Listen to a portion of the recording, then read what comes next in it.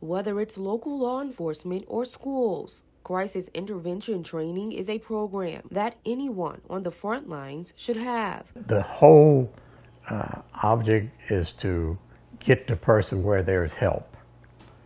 And uh, we hope in most cases that's a hospital so that they can be uh, treated rather than jail. The classes train people how to handle problems with de escalation skills and strategies. We have different mental health professionals that come in uh, just across the board and try to give them a um, to try to give them some general knowledge of just mental illness as a, as a whole. With tools like VR goggles that take people through real life scenarios. Uh, it's a means for them to look into the little the goggles and uh, see a situation and they can handle it. You know, it's not hands on, it's like, you know, with eye contact. Although the process is voluntary, Lamar Briggs says it's highly recommended because one decision can change a life. It literally can make the difference between life and death or someone, you know, getting hurt, whether it be the, the individual or the police officer. So